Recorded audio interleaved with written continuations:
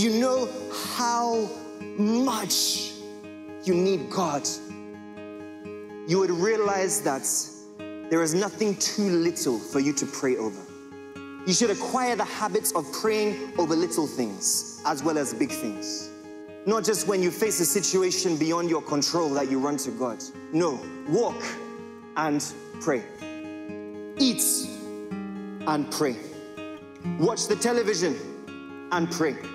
Browse the internet and pray. Do everything and pray.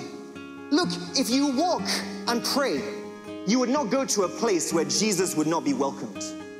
If you talk and pray, you would not engage in idle gossip or fill the air with empty words. If you watch and pray, you would not give attention to things that would violate your conscience or pollute your hearts.